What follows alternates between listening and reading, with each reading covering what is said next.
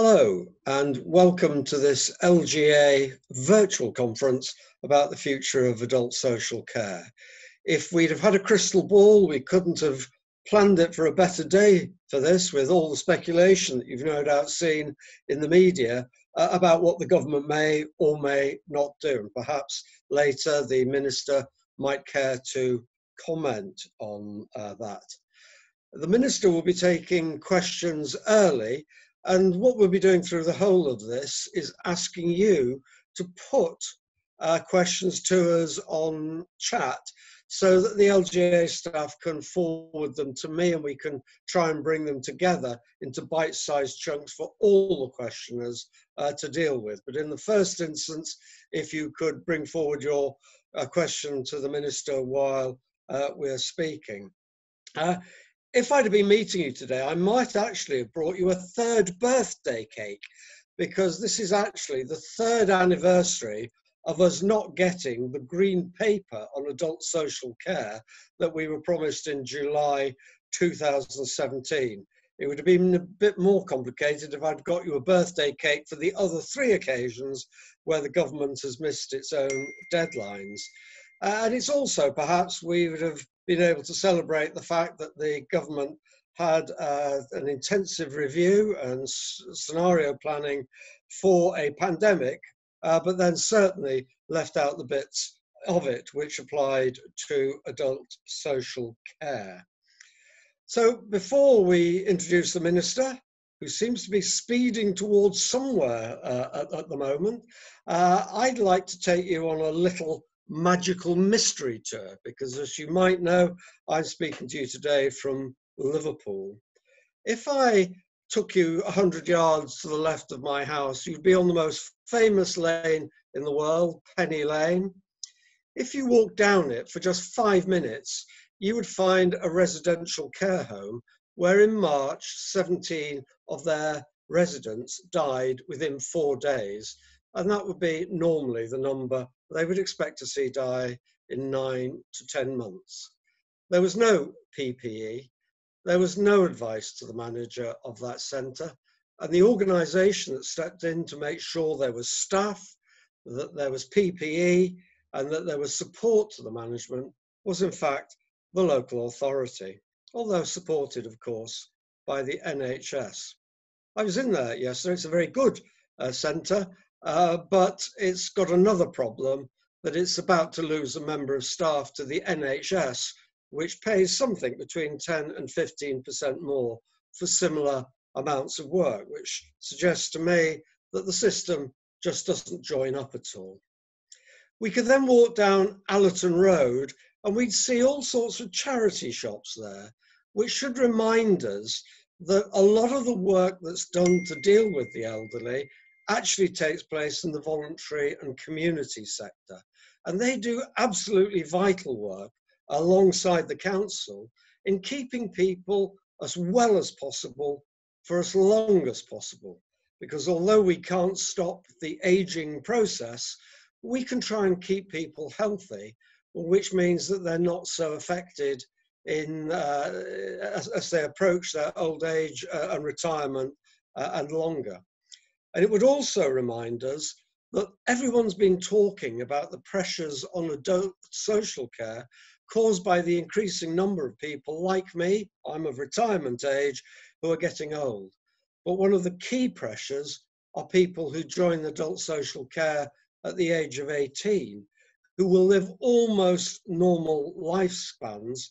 They would previously have died uh, at birth, if not very early in life, but we will be caring for them for 40 or 50 years.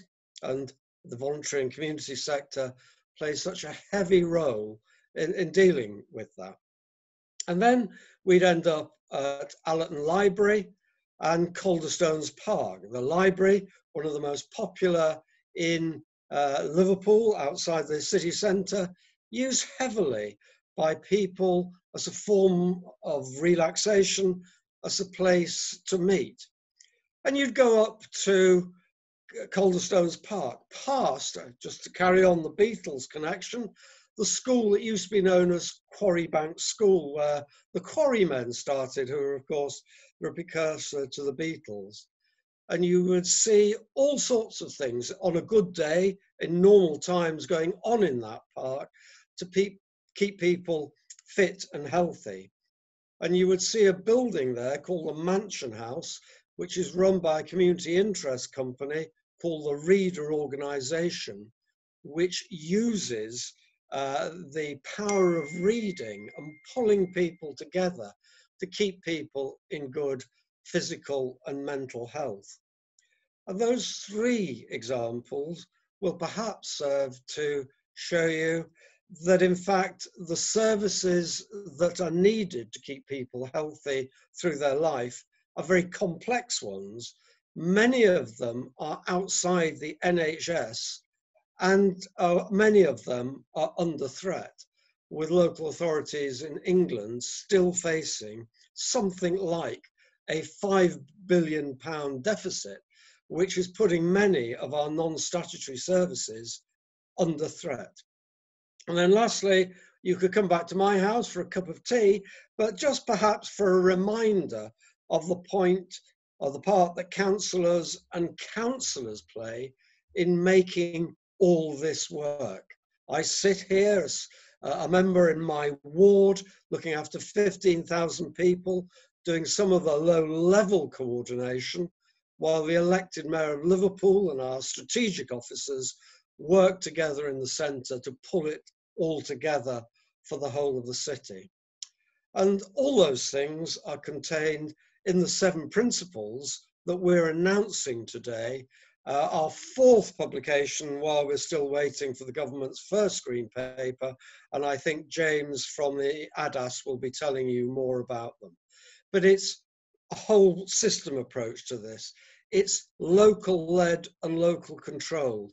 It's the voluntary and community sector working alongside the public and private sectors. It's dealing with people as individuals rather than numbers as we help them through their life's journey. So those are the sorts of things that 32 organisations, including the LGA, from the public, private and voluntary sectors, have come together today to say this is the way forward. So that when Boris Johnson, Minister Whately make their decisions, they will do so, hopefully, with the information of those of us who deliver the services day in and day out. So just a reminder that uh, if you have any questions for the Minister and then subsequently for anyone, please uh, put them on the chat column so they can be forwarded uh, to me, the, the Q&A column, so that I can deal with them. Uh, and having said that, uh, Minister, as I say, I've never done a Zoom meeting with someone in a car before, so you're definitely a first. Uh, over to you to perhaps reveal what you couldn't reveal on Radio 4 or Sky, uh, was it Sky or LBC today? Uh, but uh, tell us what you can. Thank you very much, Minister. But you need to unmute, unmute your screen, and which you've now okay. done. Can you hear me okay? Right, I'm just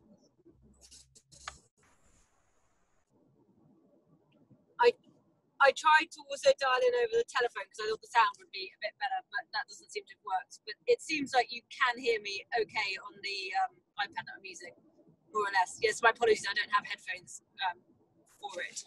Uh, uh, so it's very good to join you uh, today. And I'd say that uh, this conversation to me very much builds on the huge number of conversations that I've had over recent months uh, with James Bullion and with Simon Williams uh, and with others uh, representing and involved in local authorities, whether that's directors of adult social services uh, and uh, chief executives and council leaders as well. And I am well aware of the very important role local authorities have been playing in the COVID response and all the work that's been going on between um, local authorities and the social care sector. Uh, and you know, that's really been brought to life very much in recent weeks, where we've seen the situations in places like Leicester, where um, we in the department have worked really closely with both directors of public health and directors of adult social services on making sure that there is all possible support that there can be to the care homes, particularly uh, in the light of a situation where you've got a community, local community outbreak of COVID. And what I think, I hope those involved in those responses would agree with this, is that we can all say that we have learned a huge amount over recent months.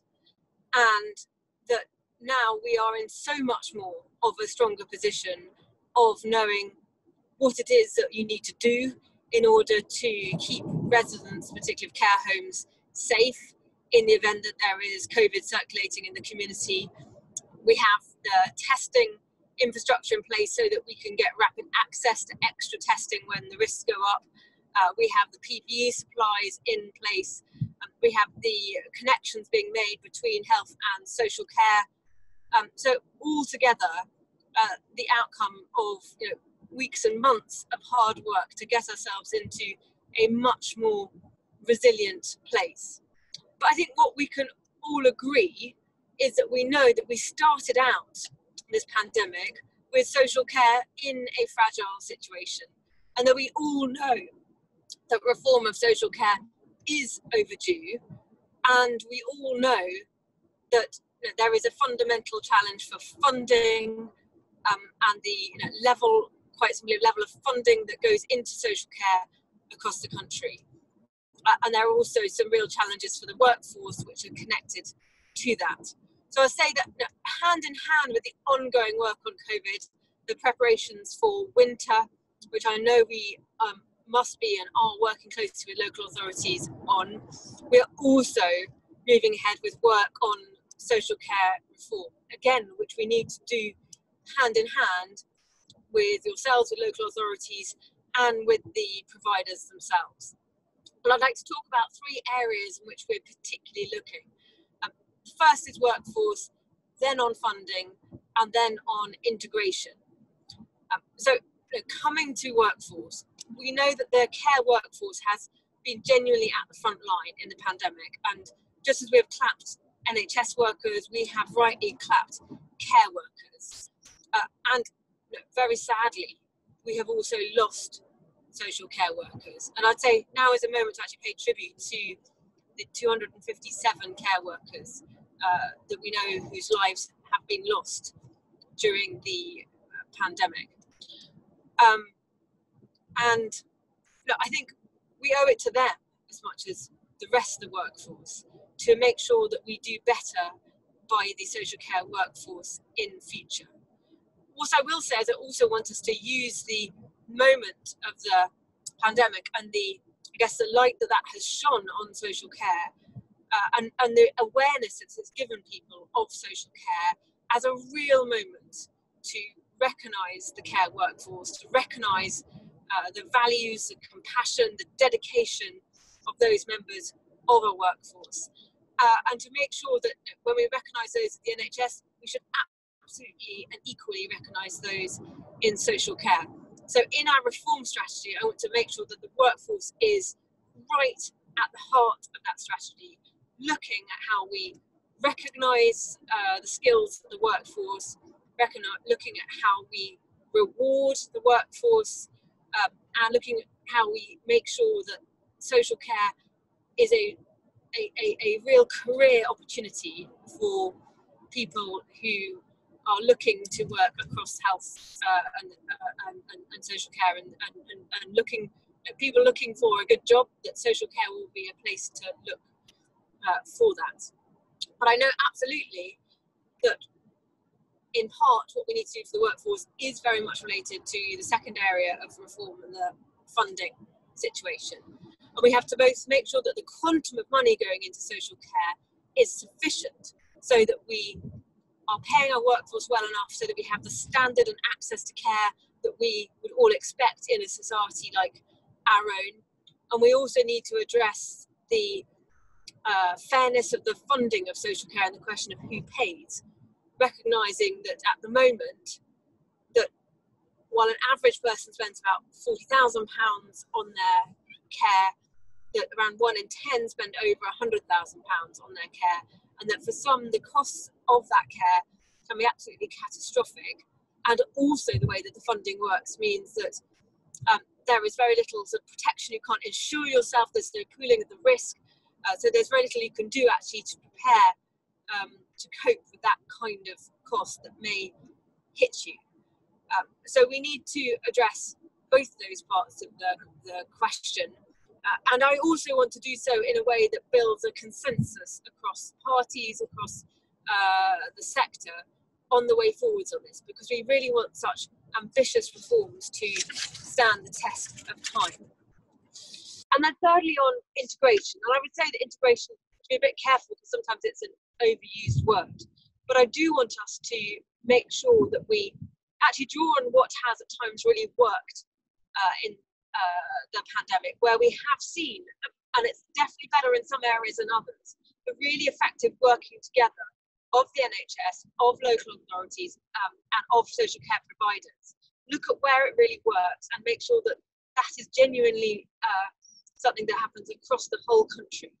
Uh, that we have the true joining up of these services around individuals so that people get the care that ultimately they want and so that services are absolutely created to meet people's needs, not just what the system happens to do. And as I say, in the conversations that are already going on about reform, we are already seeing really great examples of this kind of stuff happening. And sometimes it's not looking about sort of inventing something from scratch. It's making sure that uh, that everybody is uh, doing what the best do. And I say that recognizing that we'll also have variation across the country. It's not one size fits all, but that I think across the country we can, without doubt, do better. And that's where I want to get to uh, with the, the far reaching reforms that we, we plan to do over the, the months ahead. Um, now I'm pausing because I've noticed that I've, I've just come off the, uh, uh, off the motorway and I may lose a bit of reception.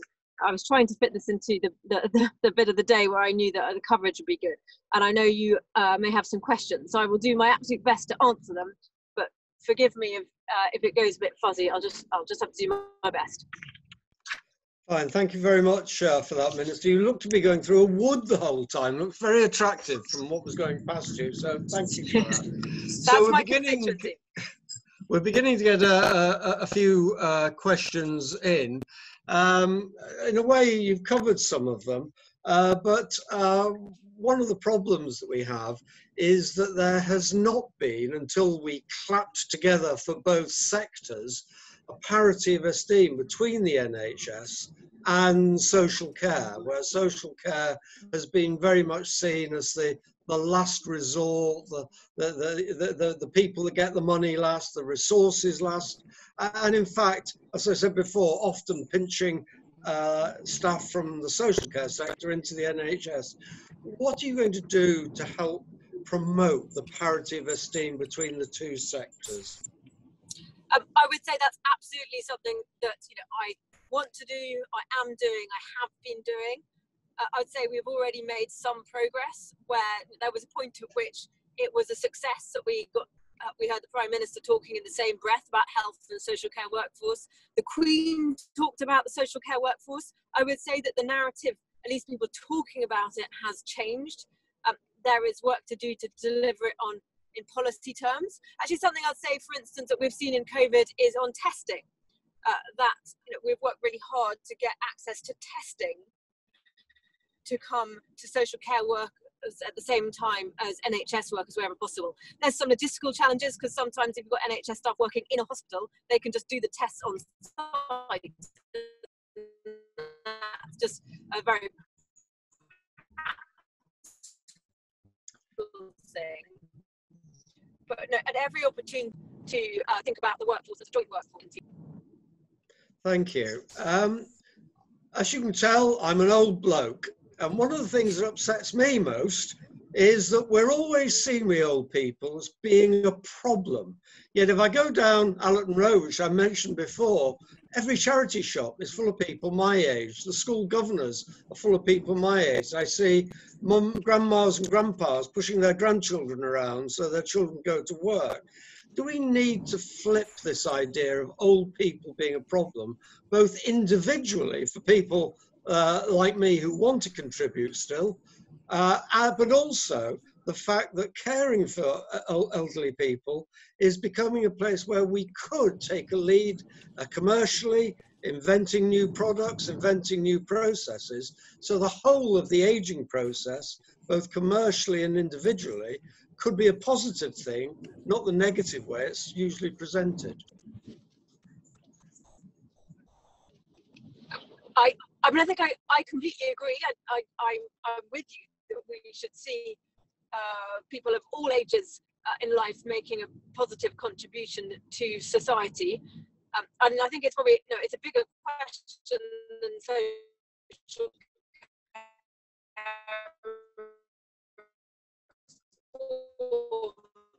specifically is to make sure that as a society, people of different societies have different cultures here. Uh, it's what is one we need to grapple with our, in our own culture. Um, but I, I, I, can but agree that that is we should look more positively I think we are having difficulty hearing you properly. The contribution now. that they, they ah. provide, and I'm also well aware that you know, many, many, many of our nations carers unpaid carers are indeed all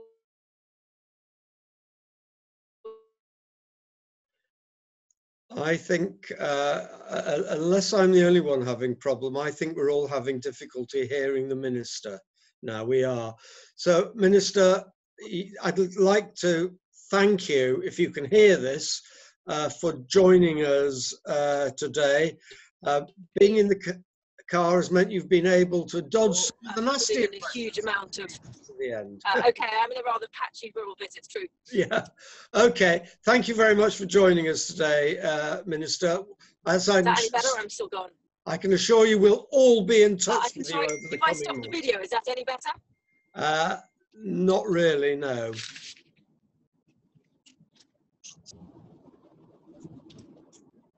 Uh, speak to me, Minister. No, I uh, think I'm going to have to be rude and take you on. Ah, well, you're back now. I can see well, you yes. anyway. Uh, I, am I'm, I'm, I'm sorry. Um, so you must have lost me for that bit, but I, I yes. heard your, your thank you. So I, I, I thank you for that, and my, and my apologies that the reception uh, in my rural bit of Kent isn't, isn't what it might be. Yeah. Okay. Uh, so, so my final comment was I can assure you, you haven't heard from the last of us. Every one of us will be in touch with you to make sure you're doing the right things over the next few months. So thank you for joining us very much today, Minister. Great. Thank you very much. Speak to you again soon. Bye bye. Thank you. Right. Uh, so uh, I think we've got Anna just in one place. Uh, so Anna, can I immediately turn to you? Thank you. Thank you and um, good afternoon. Thank you for having me speak to you today. Um, for those of you that don't know me, my name's Anna Severwright and um, I'm the co-chair of the Coalition for Collaborative Care and also part of the Social Care Futures uh, movement. But I'm here today speaking to you um, because I'm someone that uses both health and social care. I have uh, lots of long-term conditions and in my early 20s I became more uh, disabled, needing to use an electric wheelchair, and had to sort of reluctantly accept that perhaps I needed some social care support. And um, initially, that was a real relief. I was able to have a shower again, and my flat was cleaner, and things like that. Um, but after a while, I really realised that I was surviving and not really living a normal life. And also, my experience with social care, which I know a lot of my friends have also felt, is that often it's quite a fight between us and them which is a real shame because I think it should be much more of a partnership.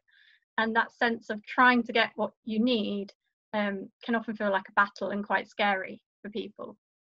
Uh, my personal experience in COVID, I think, has been like many people, um, quite difficult. I've been stuck indoors a lot. Um, I live in a flat, so I've I've only been outside a few times. But I know other people who've got relatives with dementia who are worried that they won't remember them uh, after they uh, come out of lockdown. And obviously, we heard earlier from uh, Councillor Kemp about care homes and the difficulties they've experienced. I think personally I felt quite abandoned by the system. I've been in hospital for not for COVID, um, but I've not heard anything from social care apart from two um, generic letters. And that sense of no real support or knowing where to go to for help has, I think, been quite common experience. I would like to say though, um, to all the people that are involved today, thank you for all the hard work you have put in during COVID. I acknowledge it's been a really difficult time, uh, totally, as everyone says, unprecedented, and um, and people have been working really hard to try and do their best. So I just wanted to say that at this point. But I'm just going to share my screen. I think we've all agreed that reform is needed in um, social care and um, long overdue.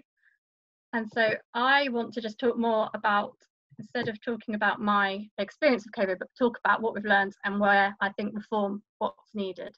So this here really sums up for me what I think adult social care should be all about. I think we should all deserve and all have the right to live a good and an ordinary life.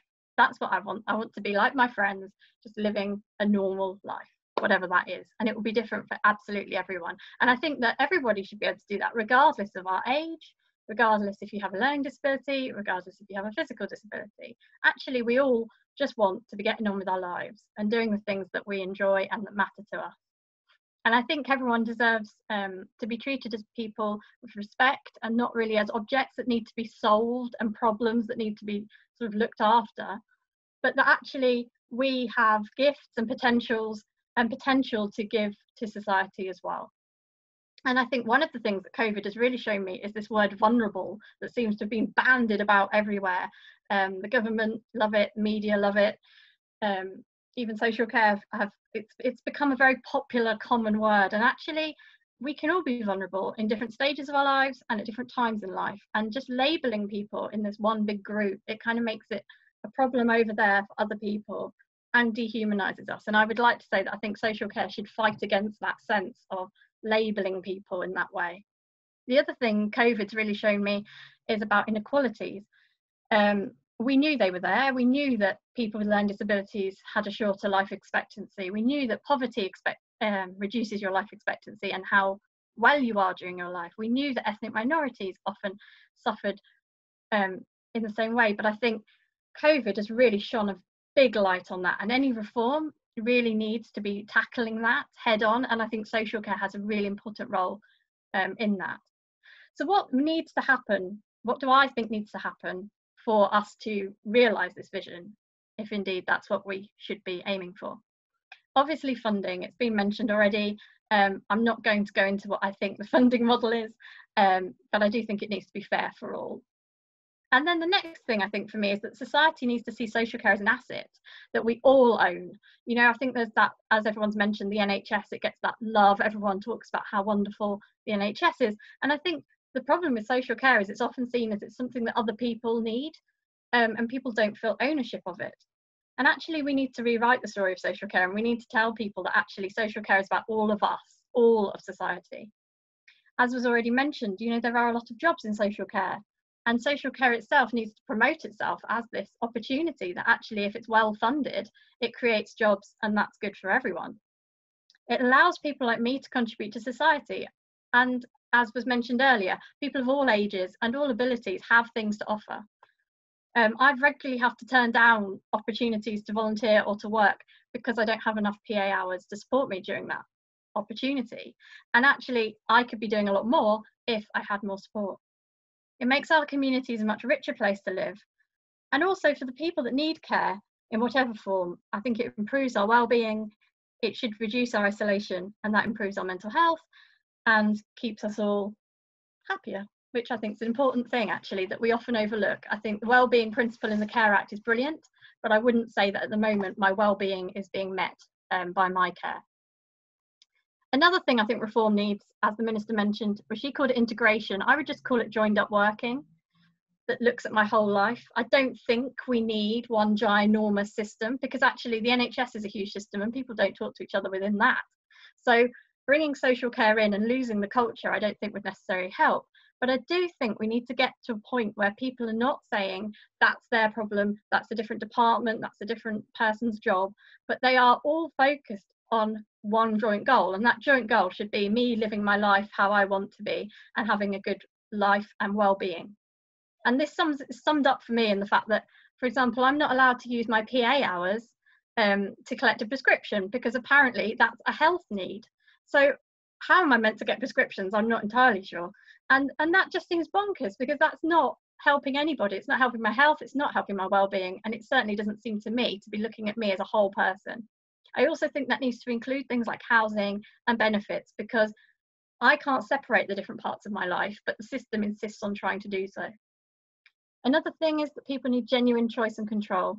As soon as you enter the social care system, a lot of your autonomy is removed from you and you are sort of split up or i was anyway split up into a series of tasks how much time to have a shower how much time do i need to do food preparation to clean my flat and that's very dehumanizing and not how most people live their lives um, it also often feels like sort of it's the least possible to just keep you safe we need to really acknowledge that actually we are individuals and we will all want to do different things we will want some flexibility in our lives and that's perfectly normal.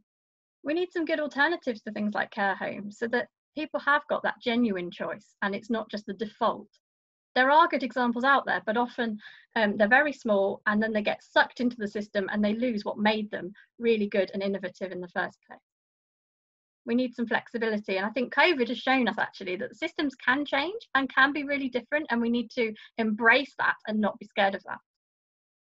For me, there's something also about power and trust.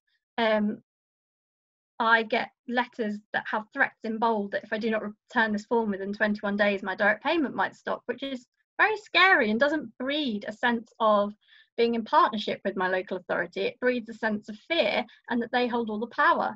And actually, I want them to trust me as an individual that I know what's best for my life and to be able to um, use my direct payment in a way that best suits my needs. I also think that's the same with communities. We need to trust the communities and enable them to um, give them permission to actually do things like we've seen with the mutual aid organisations. Where that's really flourished has been where they've had the freedom to work in the way that works best for their communities. And then I think we could build some really good relationships between the people that use social care, between communities, and between um, social care and the rest of local government and for genuine reform to work and i think we need to be ambitious here i think we need to think big i don't think we just tweak around the edges because it's not been working i don't want to be here in 10 years time saying exactly the same things that i've been saying for the last five years. Um, but we do need to work with communities and citizens to make this change. It won't work if you don't involve us because actually we are the ones that are living it and we have brilliant ideas and we know what works for us and what doesn't work. And disappointed me that actually the minister mentioned working with various people but at no point did she mention talking to people with lived experience or their carers and unpaid carers so um, that's what i wanted to say today so thank you for uh, listening to me Anna, thank you very much indeed for grounding us so effectively in the realities of life. It's easy to talk about billions here and billions there and structures.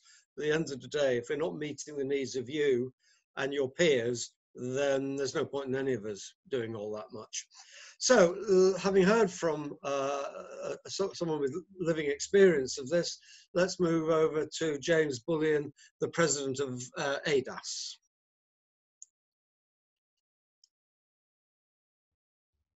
I, yeah. turn myself off mute and turn my camera. Hello, everybody. Um, sorry about that. Um, hopefully you can see a, shared screen with some slides on it. Um, good. Um, hi, I'm the James Bullion, President of ADASS. Thank you very much. Um, I'd, I'd, like to first uh, start with uh, thanks to the Minister for uh, sharing um, the areas of uh, concentration, and particularly for the statements that she made around valuing social care and, and the learning about the need to do that and the need um, to address the funding and the integration uh, position.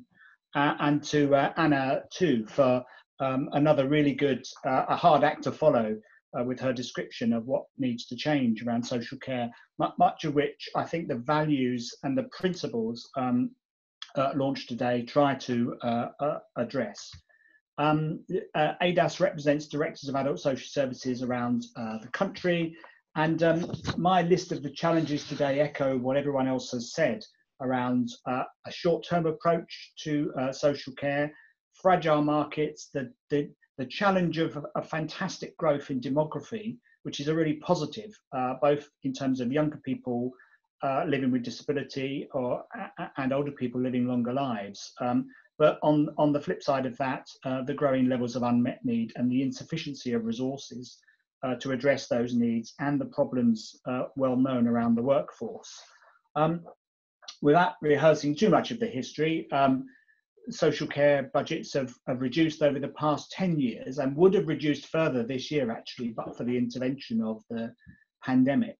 Uh, and now local authorities uh, have a, a three-pronged problem really. We have an immediate financial problem, we have the, the, COVID itself and planning for the winter, and we have the conundrum and problem of uh, reform going forwards. Um, so we're in a position today where the recent ADASS survey uh, outlined that whereas most directors uh, were either partially or fully confident they can meet their duties last year, this year it really has been a, a real change where many directors of adult social services can't begin to do the basics, let alone, let alone the ordinary uh, aspirational messages that Anna uh, Severwright was just uh, giving us. So we are in a, a, a poor state, but uh, COVID-19, I think, um, to echo um, what, what, the minister was saying and what Anna uh, has been saying, um, COVID-19 has, has um, highlighted the true value of adult, adult, social care, both to the public, but also, I, I hope, um, has highlighted the value of social work, and in particular, the ability that we have to safeguard people and to work with people who are in a, a vulnerable position, if not vulnerable uh, people all of the time. Um, and it's really showcased the skill and compassion and the dedication of care staff and actually the innovation of people who are uh, directing their own care with their PAs to adapt uh, to a challenging situation. I think it's highlighted too that councils are the right home for adult social care. Uh, and, and just to reflect on some of the things that Anna Severwright was saying, too often social care is interpreted as personal care rather than living a good life and living well, and the wider uh, aspects of that, including uh, housing and so on. Um, but but also uh, COVID-19 has magnified and exposed the challenges and really stressed uh, the existing challenges. Um, one of those has been around the NHS and social care relationship, where nationally there's been too much emphasis on protecting the NHS and in particular dealing with discharges to care homes uh, at the beginning of COVID 19.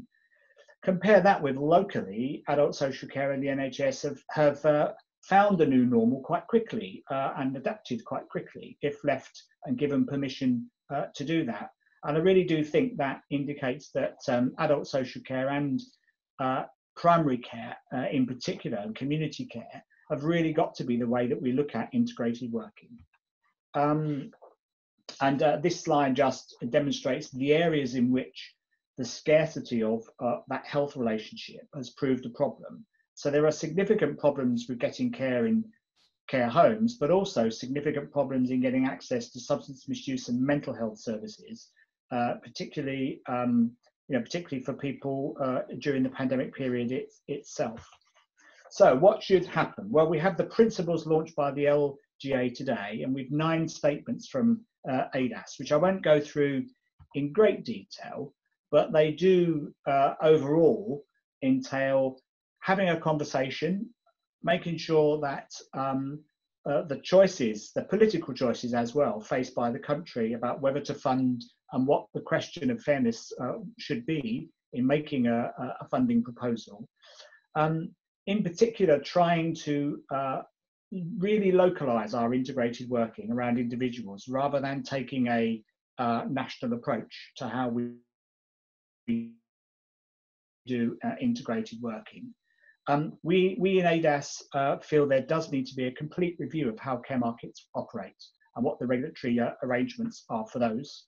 Um, we, we think we need to take action in social care and we need local authorities to um, take action on health inequalities. And it really should be it really should be the core job of an integrated care system to address inequality and the core job of a health and wellbeing board to do the same and to work on uh, both inequality uh, and anti-poverty uh, work.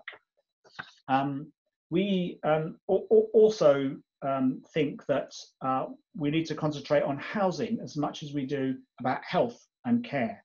And housing is central to all of our lives, as lockdown has shown us. Uh, your environment is absolutely key to whether you can uh, live a good life and to live well.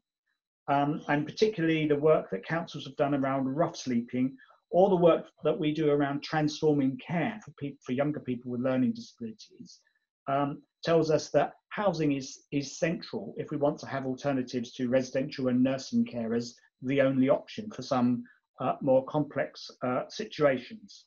Um, workforce strategy I'll, I'll come back to, um, and digital and technology needs to be a much stronger part of the future. So we think all of that means, and the principles of the LGA mean, that you can't just think about this in terms of the Department of Health and Social Care or the Ministry of Housing and Local Government. This needs to be a cross governmental approach that includes culture and includes business because um, really social care is a huge uh, opportunity for um, economic growth. And one of the reasons for that is the workforce aspect. Um, so we've got 1.6 million jobs in adult social care. It really needs to be closer to 2 millions or 2.1 millions uh, today. Um, we think you can only do that if we have a, a fair uh, care wage. And we're uh, calling on the workforce. Uh, one of our uh, conversations we want to have with the public and with government is should there be a fair national care wage? And should it be perhaps attached to a, a, a nursing band so that you get some parity of esteem? Um, and, and one of our uh, thoughts is about um, uh, Agenda for Change Band 3 for the techni technical uh, people uh, amongst you. But wages alone won't uh, cover it all. We need to have clear career progression for the workforce. So how do we make this a, a reality? Um, we've got to utilize um, public awareness that have been gained during the pandemic, but in particular make use of our local councillors and our MPs as people to engage in that cross-party uh, conversation. And we in social care as leaders need to be joined up. And we, but we most particularly must give people a voice. And um, you know, Anna, Anna is a great voice that uh, is often talking about this we do need to amplify and make a, a thousand annas, as it were, to get this message across and to uh, and to get it out there.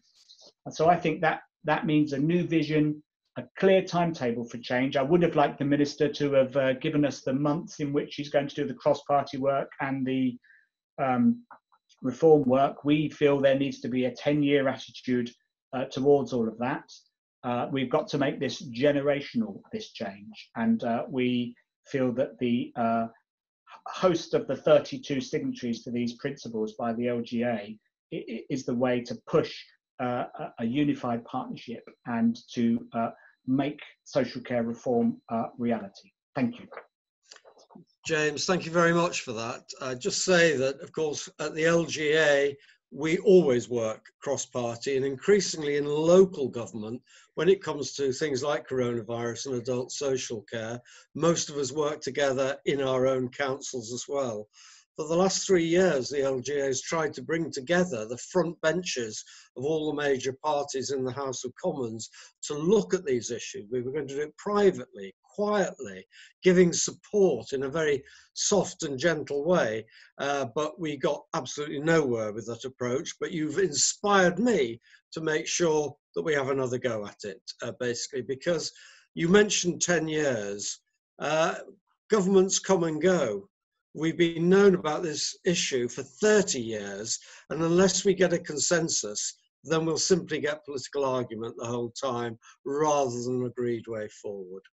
So thank you very much for that, James. Now let's turn to one of our key partners, Ian Turner from the Care Providers Alliance, but he's the executive chair of the Registered Nursing Homes Association.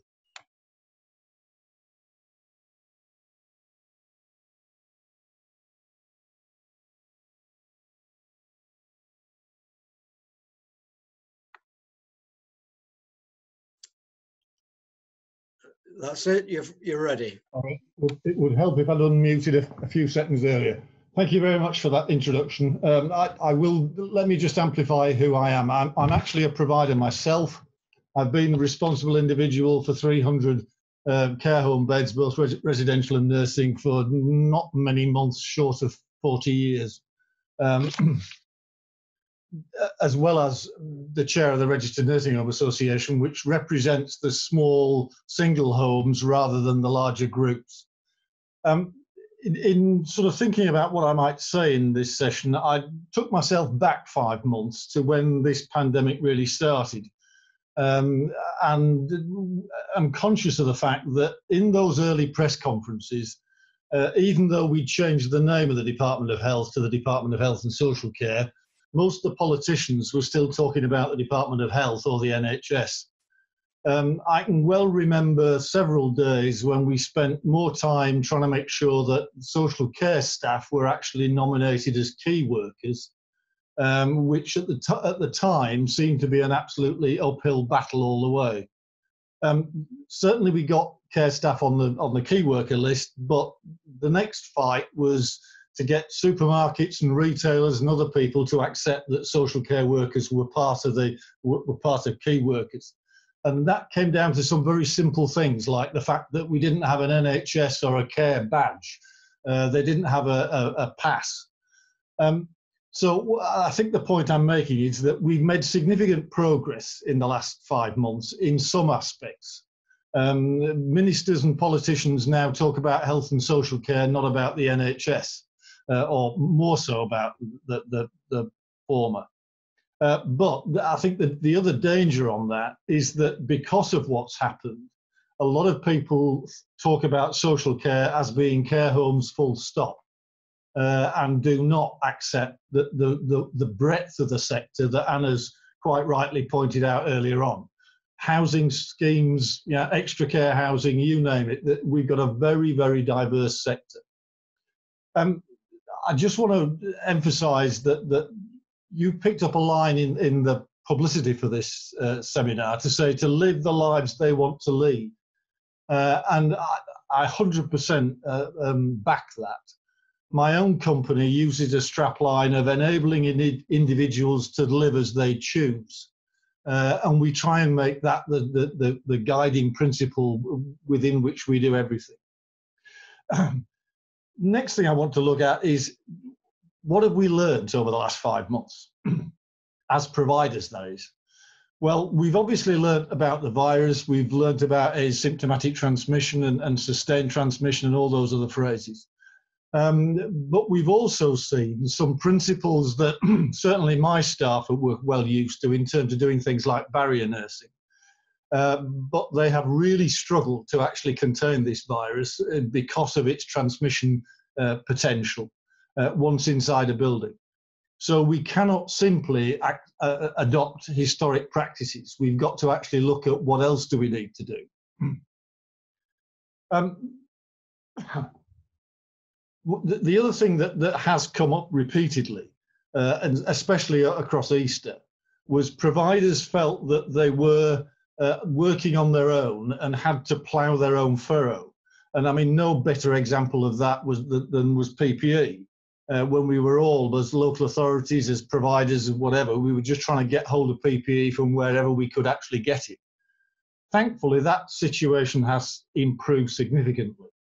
Um, but what else have we learnt? Well, the next one I want to mention has already been mentioned briefly, and that's the fact that data is absolutely crucial to managing a situation like this.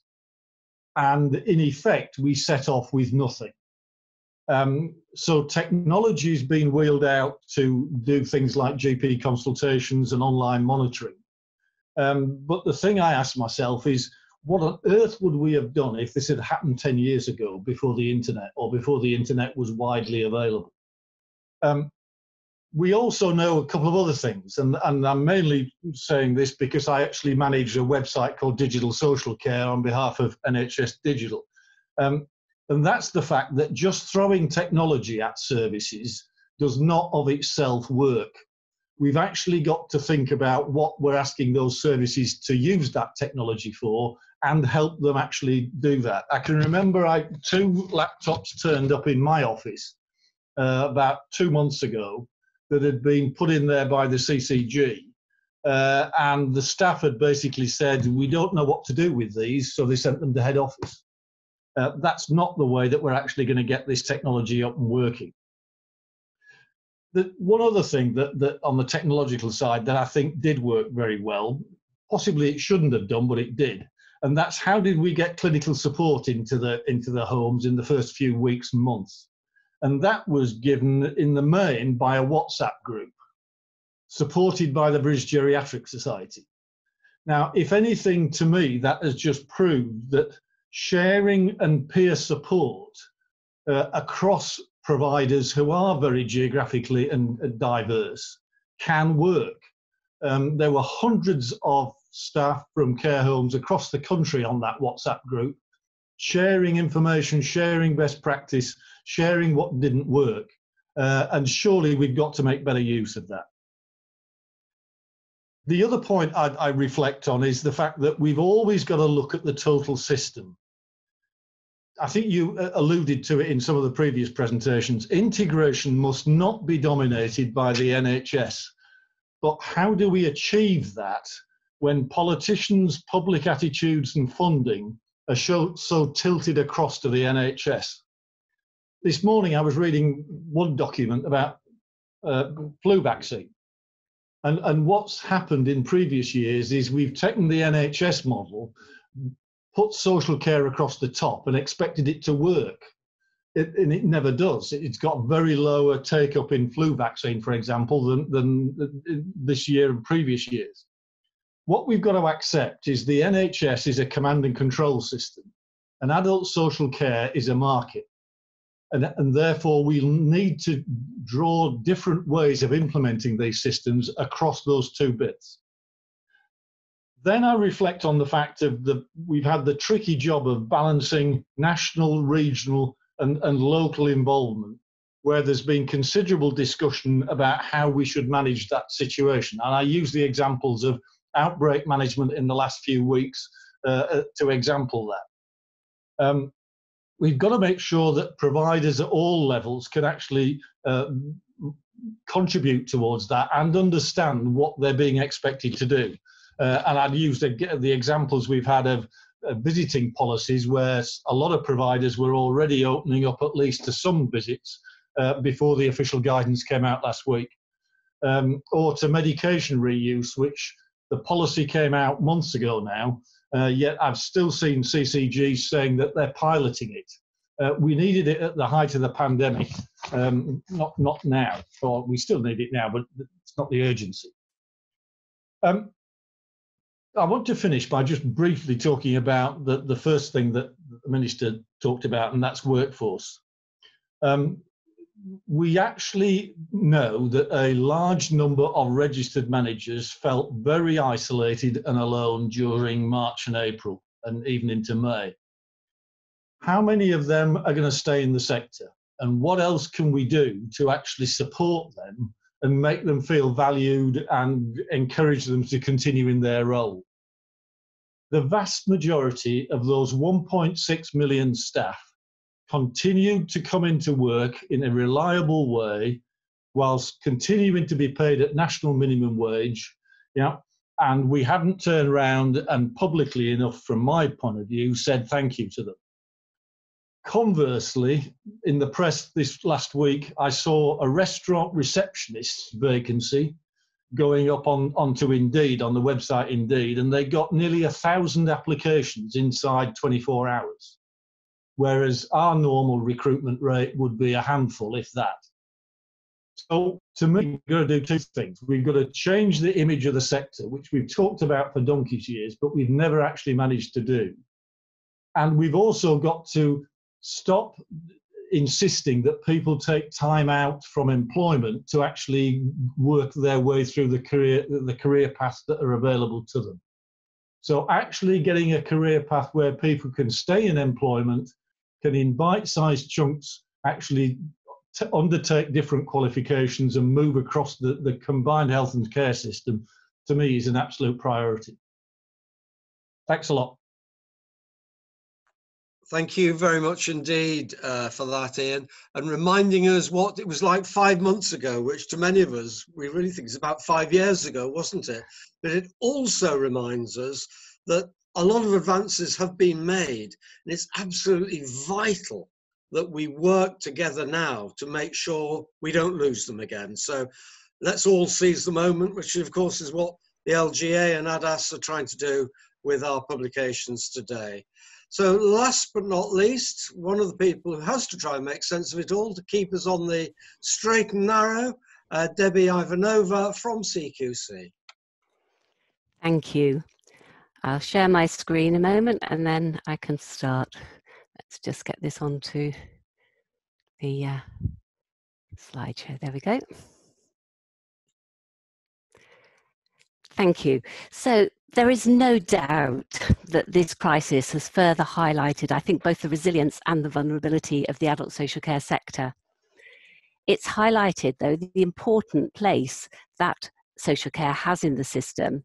And that's particularly was evidenced in the, at the beginning by the initial demand for transfers out of hospital, and then during the rest of the crisis, the subsequent support that's been provided for people to stay at home. But this in turn has exposed the vulnerability of a care market with diverse settings and lack of easy access to some of the core requirements, for example, PPE and community uh, health staff and clinical support. The vulnerability that CQC talked about in our State of Care report in 2016, where we described it as a tipping point, has been highlighted. some of the other features that have really highlighted that, and, and, I've got a few here, is a quarter of adult social care directors now have concerns about the financial sustainability of their providers. Our recent analysis of market oversight providers shows an overall reduction in admission to care homes. Although admissions funded by local authorities have now risen to an average of 72% of the number received in the same period in 2019, admissions for the week ending the 7th of June 2020 showed a huge range from 43% to 113% of the 2019 amount. Self funded admissions, by comparison, range from only 25% to 51% of 2019 levels, with an average of only 35%. This clearly adds to the financial vulnerability of care homes. COVID has absolutely highlighted the vulnerability of people in our services and and i absolutely understand from anna the, the the the, comment about not using those words around vulnerable people but in this instance i think this was has shown us from the tragic number of deaths that has happened that each of those lives is so important um, but when we look at them together they result in a, in a real cumulative level of sadness and grief that our services have not encountered before uh, we need to make mo- no mistake, this has had a profound effect, not just on families, but it's taken its toll on the resilience of staff who have held that relationship with families and comforted those at the end of their life. And some have lost their lives as well. COVID has also highlighted the complexities of the staffing situation in adult social care. There is both resilience and commitment in frontline staff, but real vulnerabilities in terms of numbers and skills. 34% of providers say they need more staff now. 9% of home care staff have been absent because of COVID. Sickness levels are now at 8% instead of 2.4%. That was 5.2 million extra days lost in March to June. No manager, a new manager, or any sort of change in management during COVID has been really shown to be a risk factor in the work that we've done. So it's remarkable that social care has weathered the storm in the way that it has, given the magnification of the challenges. However, it is very fragile and still no long term sustainable funding solution. The three points I want to make on lessons to be learned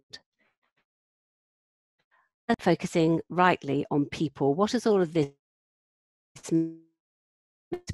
addition to the overall death toll, it has highlighted inequality in the system. And I was pleased to hear Anna talking about this. I'll probably recognize the diverse people. We must rise to the challenge and think on about how we run to black, and minority people in our those with disability, complex and challenging behaviour have first comprehensively met. I think it's also shown us for people that have moved towards a more directive model with some centralized policies and procedures where we rightly focus on keeping people safe can lead to a one size fits all approach where people lose those things that matter most to them. The essential, essential choices within care and the respect of people's human rights needs even closer attention and becomes a careful balancing act. The think local, act personal, making it real statements are more important than ever right now. Secondly, partnership. COVID, ha- COVID has shown the health and social care system to recognise the equal worth of each part, that we can only achieve a safe and comprehensive health and social care service that meets people's needs by working together. This partnership working must have a system focus beyond traditional boundaries, and I've heard other people mention this already today, reaching into public health and encompassing a focus on commissioning innovative services. A move from competition to collaboration needs to be seen as it was seen during COVID, also needs to be maintained and expanded as we move forward. And thirdly, pathways. COVID clearly illustrate, is illustrated what can happen when pathways are disrupted. Access to health services in the community and hospital services has had significant impact on people using adult social care services. We need to make sure those pathways are responsive and secure for people across every local area. So the way forward in CQC and what this means in terms of changing our approach to regulation started with a move to a different way of working in recognition of the severe pressures in the system. So we moved from a focus on regulation to relationships. Inspectors provided support alongside continual monitoring, whilst not uh, taking away the um, ability to take action when risks were identified. We've been in contact with approximately 20,400 services between the 17th of March and the 31st of May. That's about 82% of the registered market. We then introduced the Emergency Support Framework, a specific tool to look at how services are managing during this time. 40% of services have now had that ESF. Managers have told us they value this contact and the support offered has helped them to ensure they're maintaining a safe environment. We have also, though, continued to inspect. 115 inspections have now taken place and nearly 200 are planned for August. We have found some really worrying things. We have found cultures that have become completely closed, management of IPC that is lacking, poor administration of medication, failure to identify and respond appropriately to changes in people's health needs, failure to manage end of life care needs, and inappropriate use of restraint but that is really small numbers compared to those services that we have found to be managing well. We really want to make sure we hear the voice of people who use social care and their families. And so, with Healthwatch, introduced the Because We All Care campaign to support and encourage more people to feedback on services they or a loved one have experienced. The campaign launched on the 8th of July and runs for four weeks.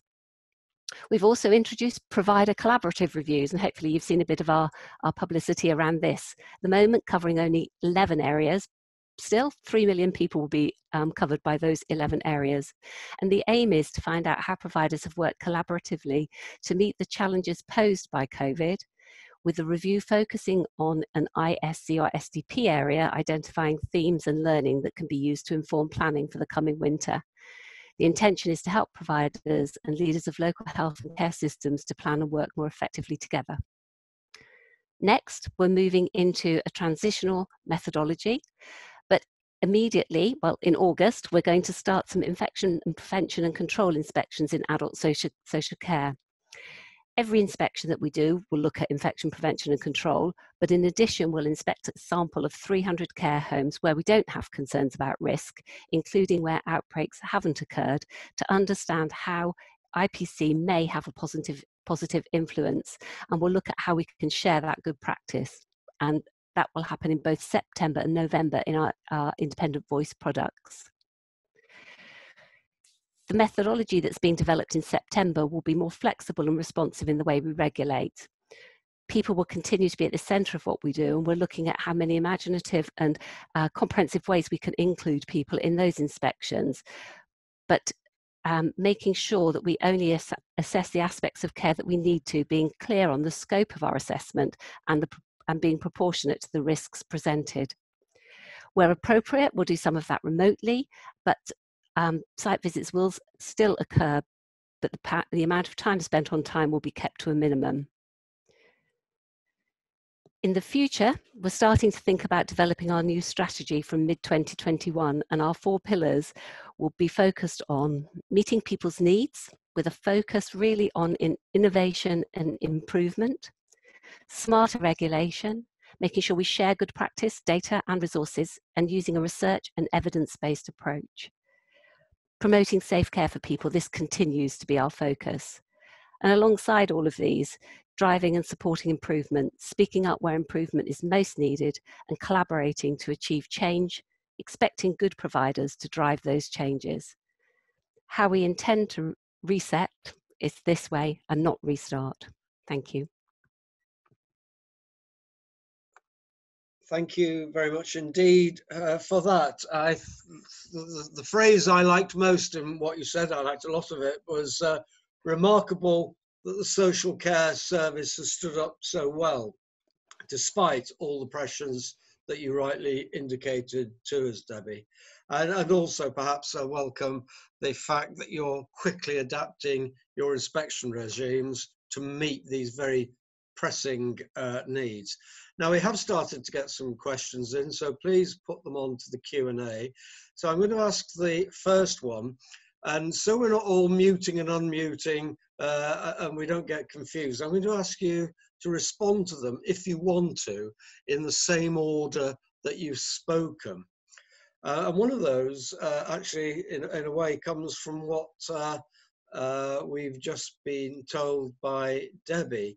Um, one of our principles that we've been enunciating here and which was supported by ADASS was the principle of local, pulling people together at a meaningful and local level.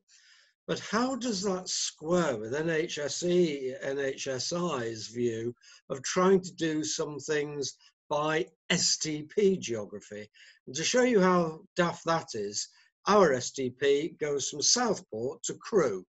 Why anyone would go from Southport to Crewe, I don't know, but that's the scale of it. People don't and so what we're trying to do is do things in Southport and Crewe and all the places in between. Can I have your thoughts on that, starting with Anna? Unmute. There. Got I don't it? really have anything specific on that, so I'll pass on to the next. Right, thank you, James. I certainly recognise the dilemma, and one of the lessons of um, COVID has been often we've overwritten local intelligence and local ways of working with an approach that is either national or, or sometimes regional. So it's imperative that we go with a default position of as local as you can be. Um, but the, the second way of looking at this question is what is what is your local system? What does it consist of when you're thinking about how organizations work together? Um, this isn't right for thinking about people, but when you're thinking about how health care and housing and the voluntary sector work together, whatever is your local system, it has got to be the starting point. Now that might be an STP level if it's if that's small enough, but often it isn't. Often the STPs or the ICS levels are quite large. They're populations of nearly a million, oftentimes, um, and so that's too big actually. And one way of busting through all of that, I think, for the future is to think about this notion of primary care networks. Population levels of about 30,000. I mean, even people in the voluntary sector would say, well, that's already too huge, stop it. That's not, that's not neighbourhood working. But, but it's, a, it's a reasonable number around which you can get GPs, people using services, social workers and nurses and occupational therapists and housing officers all together to think about their population needs. And I really do think primary care networks need to be given a chance to be perhaps the starting point around which we uh, carry out integrated working. But um, all of that, though, has got to come down to an individual, and uh, place means something to people where you live. That's that's got to be the mentality and the lens through which you look. And of course, not forgetting councillors who are elected on a place-based, you know, in a in a in a ward or a or a um, electoral division. So you you really got to have that chunking up um, So I don't mind if they get big to a million, as long as they chunk up in the right nested sort of way, if that's uh, if that's a metaphor. Yeah, that's very helpful. You do the right thing at the right level. Sometimes you need big, sometimes you need small. As long as you do the right thing at the right level, perhaps it doesn't matter too much. That's for us to uh, sort out. Uh, Ian. I'd build on what James has just said. I think that, that, there are examples, certainly that I know of, where an STP is far too large an area to actually apply a consistent thing. Um, but I also uh, picked up from a colleague um, the other day that, who said that we need to set a national framework in which localities can, can, can succeed.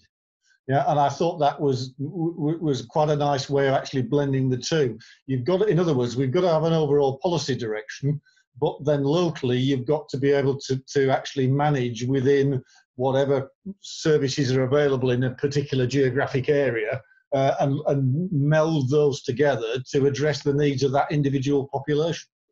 Yeah, so where top down meets bottom up is our shorthand for that. Absolutely. De- Debbie, how are you going to overlook these differing levels for different things? Well, I think uh, for us, it is looking at both the systems and then looking at the individual services. And I don't think you can do one without the other. And I think uh, just the only thing adding on top of what other people have said is that if we really focus on what people want and what people need from their services. That should enable us to get that real bottom up influence and that local picture.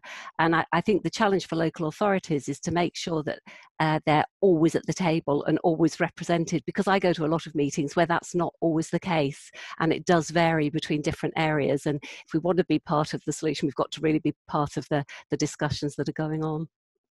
Thank you. So we move now to another question uh, what do you think the key drivers are for us to track? And it's just as well you're last on this, Debbie, because it probably leads to you. Uh, what do we need to track to ensure that we are not having this conversation again about the remoteness, about the failure to, to bring together, the lack of esteem, perhaps, between uh, in, in the system so that we do once and for all get to grips with the main problem? What are the key things? And Anna, what, how would you judge that on a very personal basis as well as the big picture stuff? Sorry, can I just clarify? So are you talking about the, the problem of the parity of esteem? Uh, well, uh, we, we've had a series of problems presented okay. to us, of which parity of esteem is one. Okay. But we could have had this conversation five or ten years ago and had exactly the same discussion about the problems, whatever they are. Okay. Right. I think for me, one of the things that um, we need to track or record or quantify in some way would be actual people's experiences. So when I see social care data, um, it often has a lot of numbers and a lot of how many people receive this, how many people receive that, how many people there, here, and everywhere.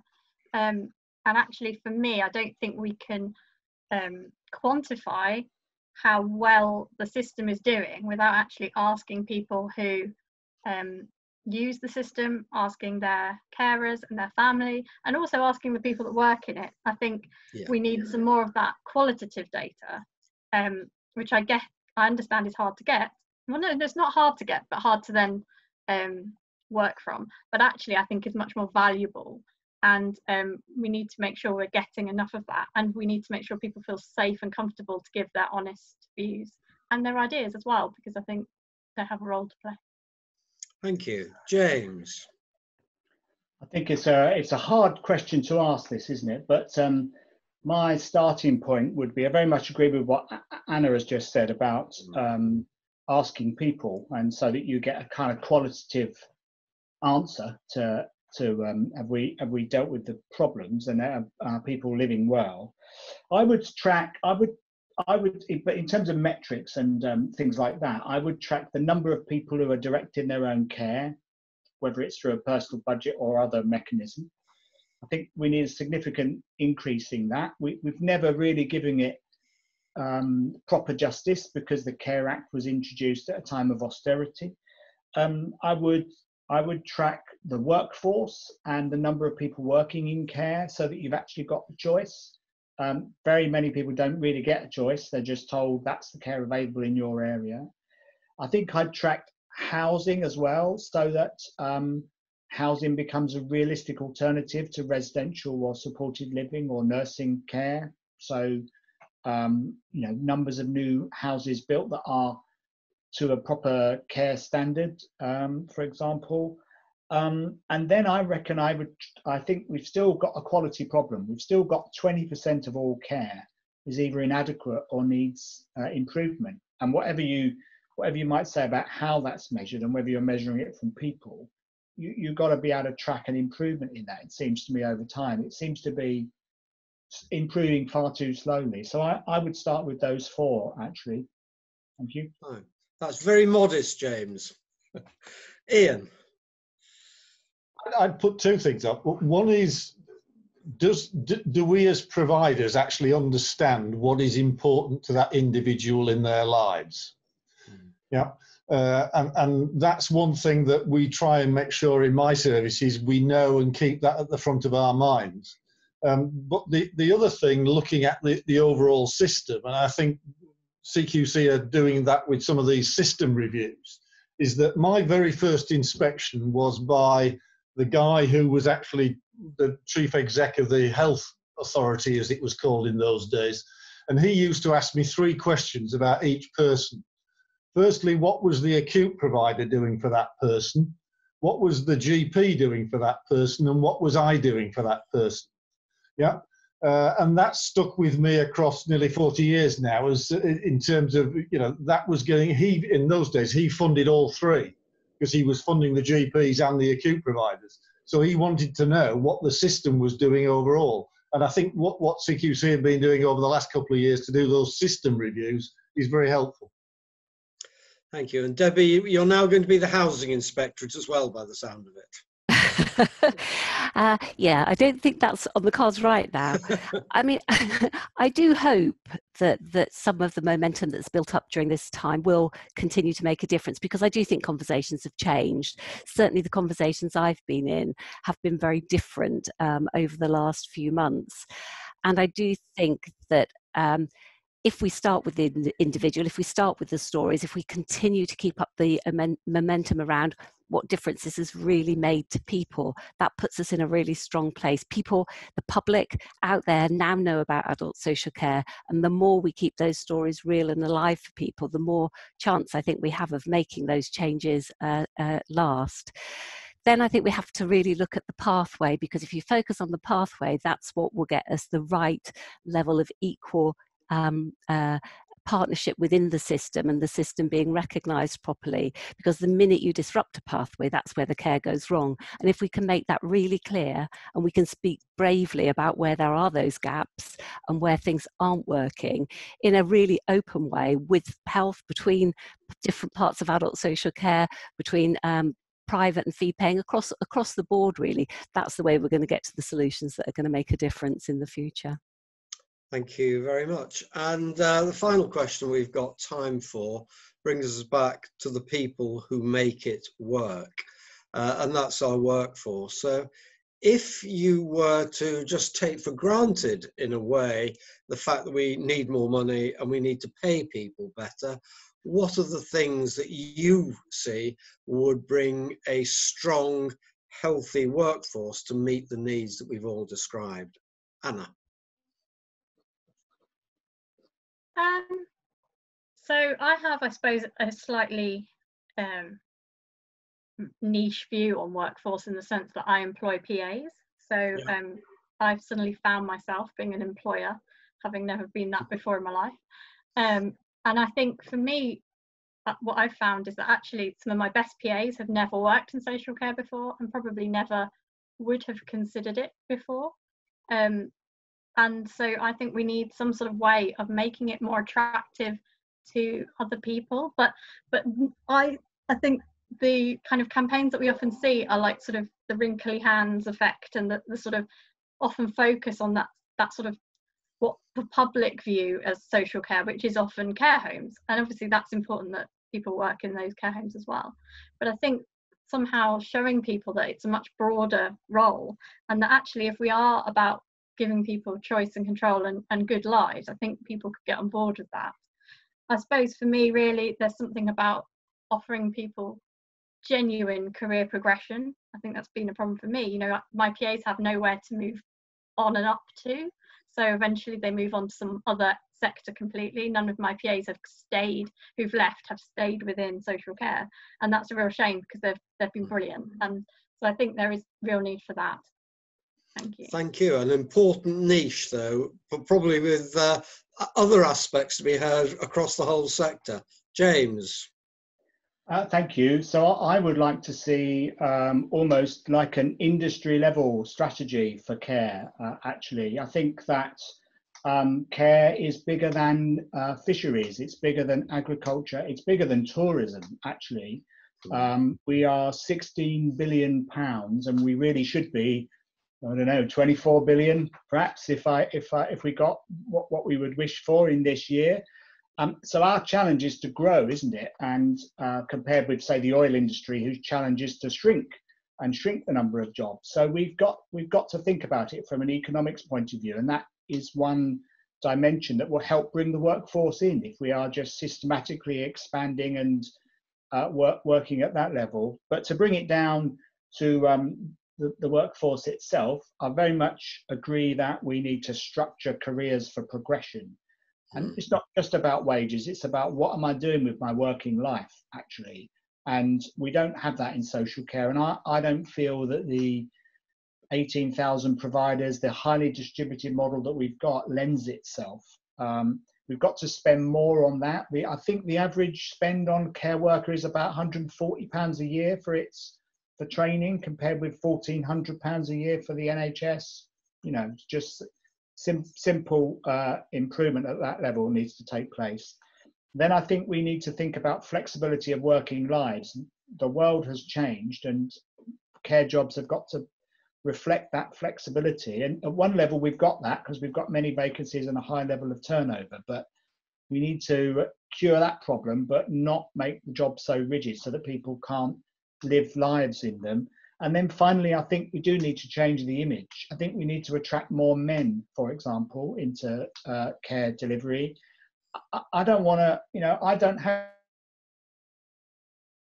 to queue for coffee at the moment, particularly at the moment, but I don't mind. I don't mind halving the number of uh, baristas if we can get that population to be retrained to work in the care sector, from retail to care. As long as you've got the right values, that's what we should be aiming for. Really, a shift in our economy towards care. Right, a principled attack on baristas. No, that was overstating it. Ian. The, the main comment I've got is, is I, I mentioned as I was speaking, I think recruiting for values is absolutely fundamental. Mm. Uh, I, I, know that, that some of the people that we've hired can be what, what I'd describe as raving extroverts uh, and they can make a phenomenal difference inside a, a service to actually improve the quality of life because if they've got some life themselves. So recruiting the right people, not necessarily because they've got the experience or the yeah, and they might need training, but recruiting for values is fundamental to me. And then the, the point that I, I, I talked through earlier, allowing people those career progressions without having to leave work is what an awful lot of people will respond to. But for one reason or another, we've got structures that actually stop us doing that. So it might be clinical support that they want to go, get into and, and, and take more clinical responsibility. You know, looking after people and doing wound care, that sort of thing, is something we've tried and tried and tried to do over the years, and we've never made, made it happen. Uh, but integrated working, to me, across district nurses and residential care is something that there's massive amounts of scope and massive amounts of system efficiencies if we can get it right, besides enhancing the career prospects and the role that those individuals are performing. Thank you. And Debbie? I think my colleagues have, have made all the most points, but I just will say finally that almost 40 years ago, I entered the care industry as an assistant. And I knew right from the beginning that I wanted that to be my career. And I think that's where we need to really pitch things. We need to pitch it at getting people who really want a career in social work to understand how amazing it can be and really selling it as a, as a great um, opportunity to have a really interesting and exciting career. Excellent, thank you. Well, that's uh, unfortunately all we've uh, got time for. It's been, for me, a very fascinating uh, event. We heard from the Minister an understanding that more money is required, though she was obviously reluctant to say where that might come from. Uh, and we did hear a very important uh, recognition from her that we need to have a parity of esteem between the NHS and social care. Though I must say that isn't what I heard in the salary announcements last week, which seemed to ignore social care altogether. We heard from Anna the importance of putting the people we serve right at the heart of this as the decision makers, the people who live the experience and can inform us best of what they want. Uh, we heard from James just the importance that has that the, public are seeing now in a way they haven't done before the importance of social work and crucially, the importance of social workers. This is no longer these Claire in the community stuff, which I find uh, amusing, uh, but not representative of the people who come into public and private sector places to work from us. We heard from Ian that this is now the time to strike and that integration mustn't be a fig leaf imposed on everyone else by the NHS, but it must be an integration of equals coming together. And we heard from Debbie how the CQC is adapting and has adapted very quickly its methodologies, what it'll be looking for, what it'll be reporting on, and what it will be advising on to help us who deliver the services deliver our work better from that pool of knowledge that CQC can bring to us. So thank you to all who've uh, contributed to this. Thank you to the 200 people who at its peak were participating. If you do want to come to Liverpool, I will do the Penny Lane walk with you personally, uh, but you might have to call one or two of the bars on Penny Lane and Allerton Road just to help our local economy and be sociable. So one day we'll see you in Penny Lane, if not, more likely back at an LGA event. Thank you all for your support and attendance today.